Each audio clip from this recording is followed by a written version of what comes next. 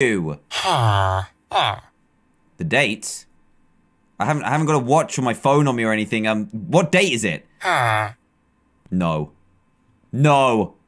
This was an April Fool's prank? You pretended to die?